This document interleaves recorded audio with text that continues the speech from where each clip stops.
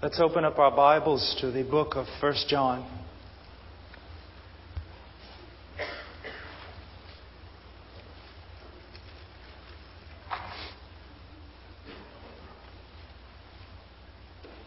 The book of 1 John, chapter 2, verse 7. Let's stand.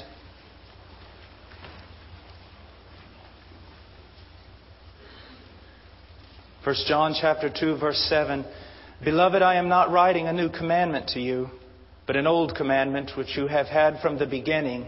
The old commandment is the word which you have heard. On the other hand I am writing a new commandment to you which is true in him and in you because the darkness is passing away and the true light is already shining. The one who says he is in the light and yet hates his brother is in the darkness until now the one who loves his brother abides in the light, and there is no cause for stumbling in him. But the one who hates his brother is in the darkness and walks in the darkness and does not know where he is going because the darkness has blinded his eyes. Let's pray. Father, I pray that you would use your word in the lives of many according to the need and according to that which would bring you the greatest glory. In Jesus' name. Amen. You may be seated.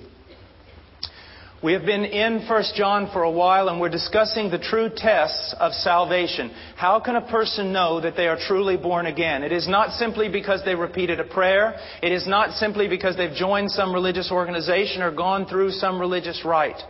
The evidence of salvation is the working of God in our lives that causes us to grow in conformity to His character and conformity to His will.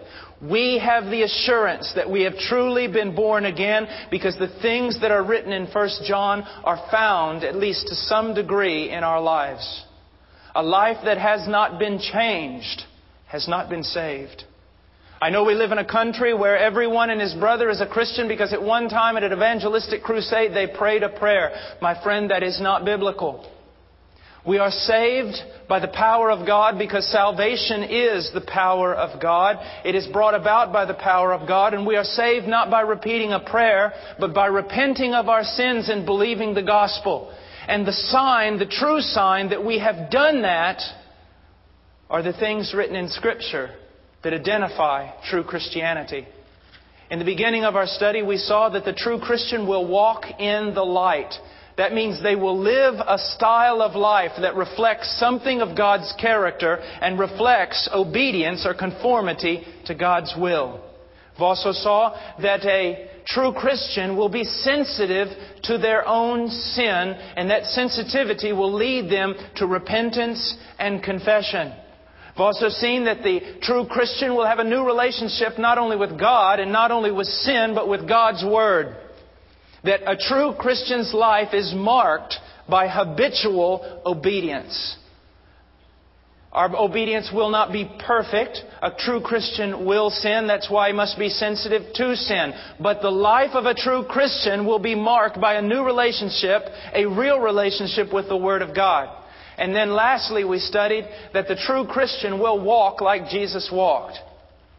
That doesn't mean that we will be able to do all the miraculous things that Christ has done. It doesn't mean we will live a life of sinless perfection as He did. But it means that our style of walking, of living, of being, of talking, every aspect of our life will somehow be brought into conformity little by little to the life of Jesus Christ, to the life Christ. Now we see another test in verse 9 of chapter 2. The one who says he's in the light and yet hates his brother is in darkness until now. Possibly the greatest sign of true Christianity is that you love the brothers. You love the brethren. Now, the word brother here does not refer to someone of another race because Scripture simply does not acknowledge that there are other races. There's just one, it's human, and we're all a part of it.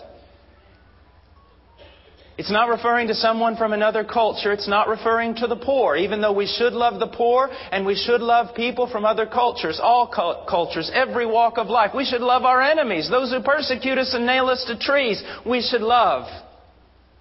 But here, He's talking about love for other individuals who profess Jesus Christ as Lord. Now, let me give you an example of how this works. If you ever, do you remember the teachings of Jesus where he said, I was in prison, you didn't visit me. I was sick and you didn't come to me. I was hungry and you didn't feed me. I was naked and you didn't clothe me. And that verse is so often used as a, as a proof text for prison ministries and ministry outreach to the poor. And, well, we should do all that, but that's not what that verse is teaching. Let me give you an example. In many third world countries, when you are thrown into prison, you are not fed. In prison, in many third world countries, some of the countries that I've been to and even lived in, you are not given food, you are not given water, you are not given clothing, you are not given shelter, you're not given anything. You are thrown in behind four walls. Now, what does that mean? It means that if someone on the outside does not come and slip you food through the bars, you're going to starve to death. If someone does not come and bring you a change of clothing, you're going to be ragged. If someone does not come when you're sick, you're probably going to die of that sickness. But now, let's take that into Christian context of the first century. There's someone who is thrown into prison. Why? Because they profess that Jesus Christ is Lord. Not Caesar, Jesus. And because of that, they are thrown into prison. Now, they're going to rot there. They're going to die there. They're going to starve to death there unless someone from the outside ministers to them. Now there's the catch. The prison officials are going to be watching. Anyone who brings this Christian food is obviously a Christian and we'll get him too. So when Jesus says all that he says about visiting him in prison and all the such, he is saying that your love is so strong for other Christians that you willingly lay down your life. And if your love is not that way, a red flag should come up that maybe you know not the Lord. Again, in this new covenant, love is not something, it's everything. It's the manifestation of all your godliness, is love. Is love. The one who says he's in the light, the one who says he is a Christian. What does it say? And yet hates his brother. Again, this verb, present tense, it's a habitual hatred, a habitual animosity. You say, well, I don't have that great animosity and I don't have that great hatred towards people who call themselves Christians. But um, love is much more than just not doing the negative. What positive actions of love do you demonstrate to the people of Christ? Now, let's just step back for a moment and think about this. How many times have I heard men say, and women say, I don't need to go to church. Church is so filled up with hypocrites anyways. I can worship God in this bass boat. I can worship God on this golf course. I don't need to be there. They're all a bunch of hypocrites anyways. If you've ever said that, you're doing the work of your father, the devil. His name means slanderer, accuser. You're standing outside of the people of God, judging them. I want you to know something. It is true that within the people of God, and first of all, let me say this not everyone who goes to church on Sunday morning is the family of God. There are church members who are not Christians. You say, well, how can you tell them apart? Watch their life. But even among the true Christians, there is failings. There are problems. There is stumbling. But the one thing that's going to happen to you if you have truly been converted is you are going to have a love for the people of God because you are one. You say blood is thicker than water. I'm sure it is, and that's the way it ought to be, but the Spirit is stronger than blood. How many times have I sat down on an airplane with someone from a totally different culture, totally different country, whether it be from Switzerland or England or, or wherever, South America or Africa, sit down, begin to talk, find out they're a Christian, and within just a few seconds, it's like we have known each other forever. We are family. Why? Spirit bears witness. This is a child of God. And we are to be marked by love. The one who says he is in the light and yet hates his brother is in darkness until now.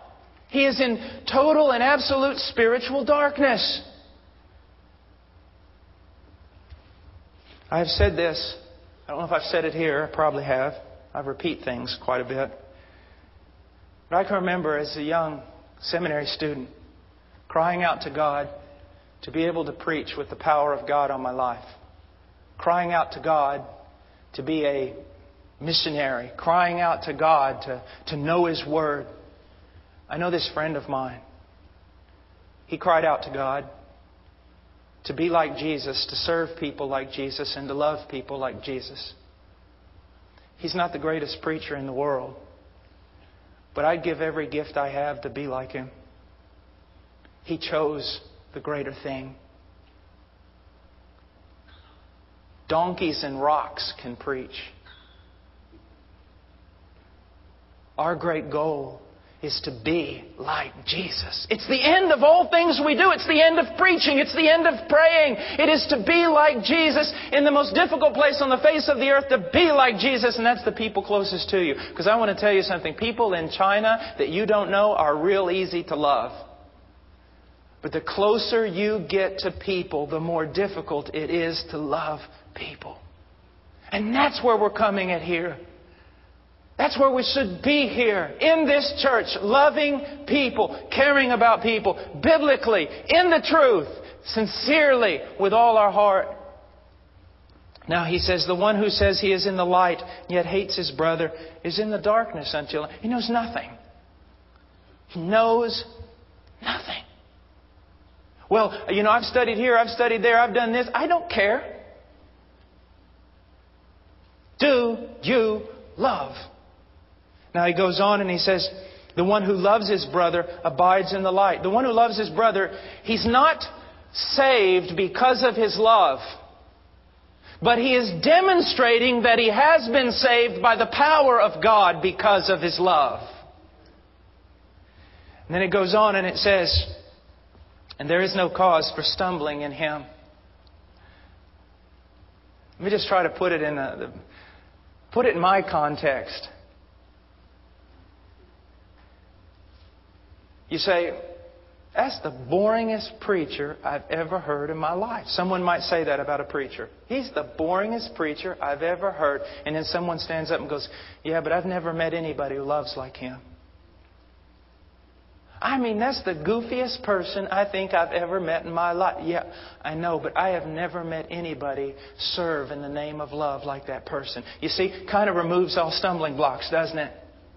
It's just not important anymore.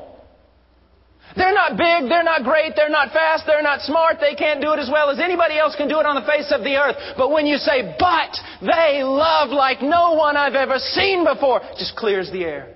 What else matters? What else matters? I had a friend of mine that was terribly, ter- had a terrible, terrible relationship. His wife just I mean, I was in there. I was privy to what was going on. It was a horrid thing. He spent 14 years of his life just living it was a horrid thing. She left him, she left the kids, she left absolutely everything, left him high and dry. And I said, Brother, what are you looking for? He said, I don't care. I don't care what the woman looks like. I don't care how smart she is. I don't care the way she dresses. I don't I just want someone to love me. That's all I want. You see what he's saying? Nothing else matters when you get the one thing. But if you don't have the one thing, nothing matters. Nothing matters. Look at this. Verse 11 But the one who hates his brother is in darkness and walks in the darkness. That means not in just this one area of his life is he in darkness. He's dark everywhere. He, he knows nothing and has nothing to say to anybody about the Christian life. He's just, his mouth is shut up because he doesn't love. And then he goes on and he says, he does not know where he's going because the darkness has blinded his eyes. Church, let me share something with you. It is impossible to have a proper vertical relationship without proper horizontal relationships. You cannot have a great, magnificent, fire filled, on powered, divine relationship with God if your relationships with the people around you are not right. You don't hear from God because God doesn't speak to you. You're dark everywhere. You're dark everywhere. How many times, and I have had to do this, how many times if, if I left the house in a hurry or, or just troubled or just too quick with my wife and just jump in the car ready to go preach somewhere to save souls and God just basically say, well, you can get in this car and take off, but I'm not going with you. I don't know what you think you're doing, but you better get back in that house right now and start doing some serious apologizing. Why? Don't think about going up if you haven't gone across. Oh, we are to love, and that is a hard thing to do. You think that if I were to get up here right now and to give you all the commandments of the law, I mean, I was to go and say to you, folks, we've got to keep everything in the book of Leviticus, we've got to keep everything in the book of Numbers, Deuteronomy, Genesis, every law that's ever been given, we have to keep it. Do you think that would be hard? That's not half as hard as what I'm telling you to do right here. Because this is the fulfillment of the law. This is the fulfillment of absolutely every bit of it. Just love. Love. Well, who do we love? Who do you got? That was the question they asked Jesus. Who's my neighbor? Looking for a loophole. Who's not your neighbor? Well, you don't understand what they've done to me. They haven't put a crown of thorns on your head. They haven't nailed you to a tree, and they haven't thrust a spear in your side. Any more questions? He goes on. Now, I want us to go back up to, well, I want us to go over to John 13 for a moment. John 13.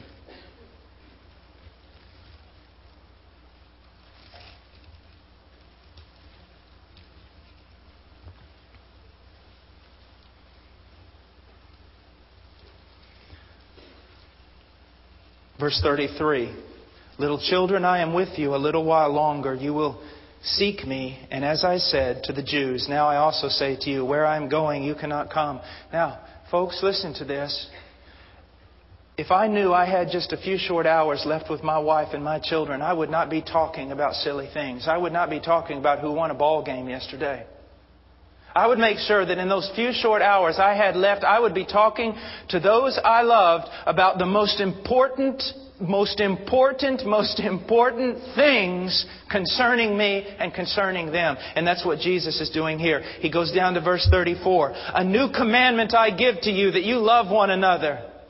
Even as I have loved you, that you also love one another. Now you say, well, what is this new commandment?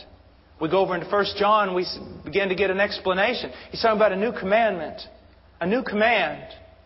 But in 1 John, he'll say it's an old command. It's not a new command. Here he says it's a new command and not an old command. What is he saying? He's saying this. God has always been love. God has always been love. His character changeth not. He has always been love. God is love. And He has always commanded His people to love. And therefore, it is an old commandment. It is the oldest commandment. And to sin is to violate that commandment. And to keep that one commandment is not to sin. God has always told us to love. Then how is it a new commandment, Brother Paul? A new commandment I give to you that you love one another even as I have loved you. Jesus raised the bar so high that when he says love, it means something totally different than when anyone else says it. I'll give you an example. You sit down with me and say, Brother Paul, are you a good basketball player? I say, Yeah. Yes, I am. I'm a, I'm a good basketball player. I was good in high school. Two replaced hips, one broken arm, and a bad elbow. But yeah, I can still put them through there when I have to. But if you ask me if I'm a good basketball player, I can tell you yes, and within the context of my life, that's a pretty reasonable answer. Yes. But it means something totally different when you ask Michael Jordan if he's a good basketball player. It means something completely different when he says he's good and I say I'm good. Two different worlds.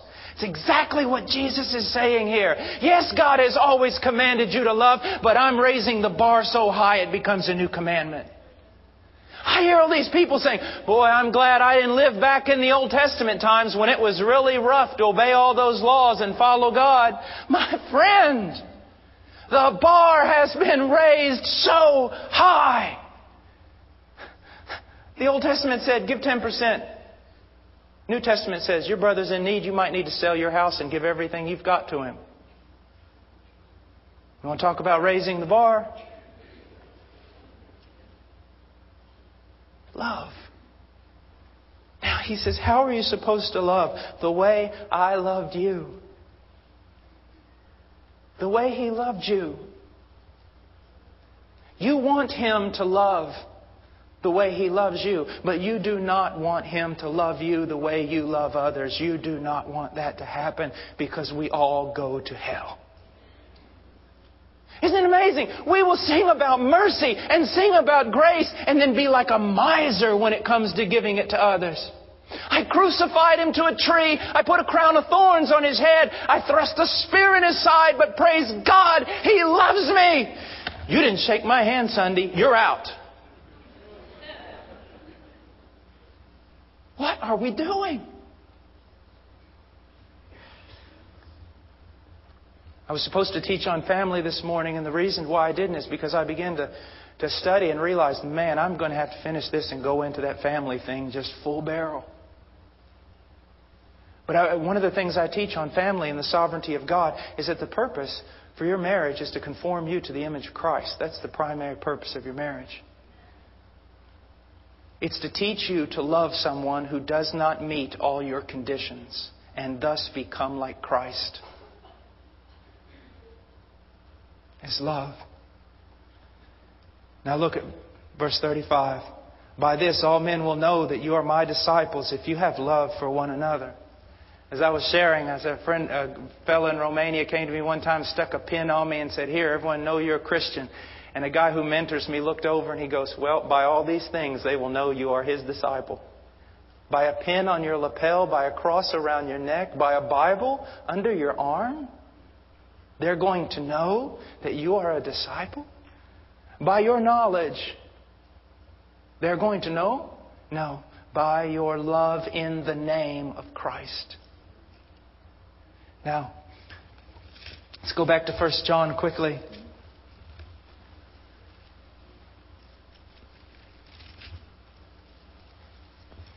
Run over to chapter 3 for a moment.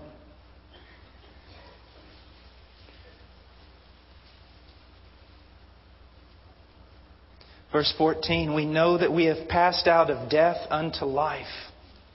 How do we know that?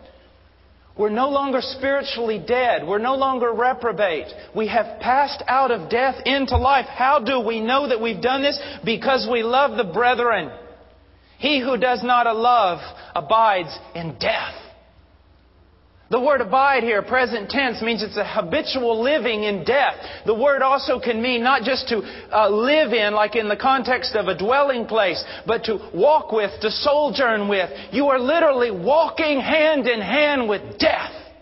And you are unconverted and you know not the Lord if you do not love.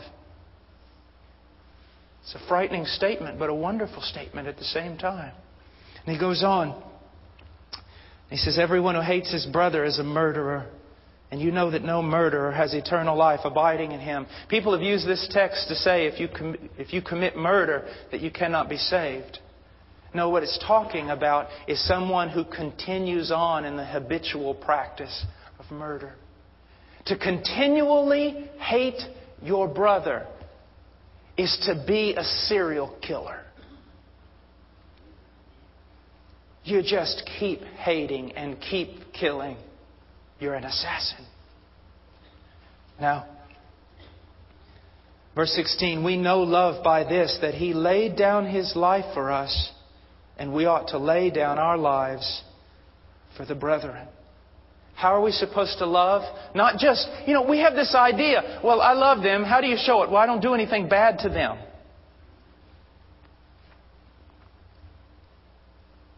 No, you love because you lay down your life for them. You can. Let me share something with you, believer. If the extent of your Christianity is just coming into this building and hearing a sermon and worshiping, you're not loving.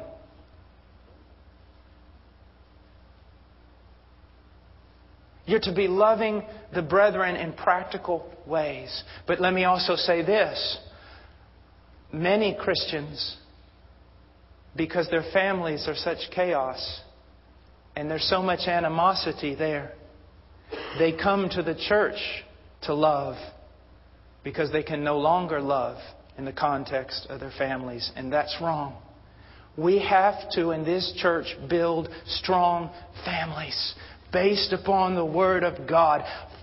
Husbands who are husbands of God. Wives who are wives of God. Parents who are godly parents. Children who know they are loved and learn how to love.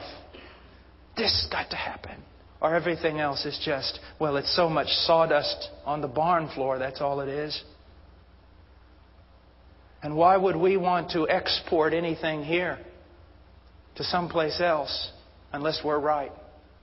I've always said the greatest thing that could happen to missions in the world today is for most Americans to stay home because when they get over there, they teach a gospel that's not true. We don't want to be the problem. We want to be a part of the solution. Now, look at verse 17. But whoever has the world's goods and sees his brother in need and closes his heart against him, how does the love of God abide in him? Children, let us not love with word or with tongue, but in deed and truth. Now, I don't have time to preach this text, but the whole point that I want you to see is love is not just a feeling, it's not just emotion, it's not just coming together and all of us giving a group hug and singing kumbaya. And love is not just all of us coming here and praying here down at the front. It's ministering to people when they go back. It's loving people, caring for them, getting involved getting involved. And that's the thing we don't want to do because we've all got fences around our houses, don't we? Little cards that you have to have in order to pass through the gate. We don't want anybody that close. Well, you can't love somebody far away. Now, I want to close in, in, in verse 7 of chapter 4. Beloved, let us love one another, for love is from God. And everyone who loves is born of God and knows God. The one who does not love does not know God, for God is love. By this, the love of God was manifested in us that God sent His only begotten Son into the world so that we might live through Him. Never forget this. God is holy. God is just. He will judge the wicked. God is love. He really is. He really, really, really is. And there's very little meaning in what I'm saying. You can't understand the strength of that statement because you can't really find a great definition of the word because you've never seen anything like this in your world. You try to find a definition for the love of God, there's just not, there's not words enough. The human mind cannot comprehend. There are not enough in the human language to be able to express the love of God, but we do have an example. God's Son crucified over a garbage dump outside of Jerusalem. Crying out all the while, Father, forgive them, they know not what they do. God is love. And everything God does is in the context of love. And God's commandments are expressions of His love. And God's morality are expressions of His love. And God's directives, God's prohibitions, they are all manifestations of His love. We look at a culture today that has literally gone wild. Gone wild. Turned over to the wickedness of its own heart. And that is true. But anytime you hear Christianity spoken of in the media, it's always these, these horrible people who want to oppress other people's liberty by telling them what they cannot do. And this horrible God of theirs that says there is a certain way to live and apart from that way there is nothing but death. That's what our culture hears. That's what the media portrays about Christianity. My dear friend, let me tell you something. I love my two little boys. I love my wife supremely. And I want you to know something. I will tell my little boys when they're going close, close to a flame, no, do not do that. Do not do that. Is it because I want to oppress their freedom? No, I want to save their life. And one of the things that we've got to understand is yes, God does come to our godless culture and say, you are all wrong. Every last one of you, you're wrong. But I love you and this is why I'm telling you you're wrong. And you can be right. Well, what do you know, God? I made you. That's what I know. I made you. Don't try to oppress my lifestyle. Oh, I'm not. I'm not at all. I'm trying to save your life. I made you. I know how you work. I know how you can be saved. Well, it goes against everything. Let me tell you something. It went against everything for me. And it went against everything for every other person that's ever been saved. You say, well, I have to renounce this. We all had to renounce something. Because we were all wrong. Now, it might have manifested itself a whole lot of different ways, but all of us were wrong, and all of us had to turn, and all of us had to say, God, be merciful. All of us. I tell you what, I'd like to take out a full page ad in whatever newspaper there is in this city and just say this. Okay. This is who we want in our church. Every thief, every murderer, every prostitute, every crack addict, every person that's ever done anything so horrible they don't even want to mention it. We want them in this church, and this is why. Because such were some of us. But we have been washed we have been bought. That's what we want. That's what we want. That's what we want, church. That's what God desires for us to promote in a godless, loveless world a true God who is both holy and love, who is both mercy and justice and has been able to show the perfection of both those attributes the day his son died on that tree. I don't care what you've done. I don't care. Because for most of you, I've probably done worse. I don't care what you've done. I don't care what you've become. Not at all. What you need to understand is your sin and your life could be killing you.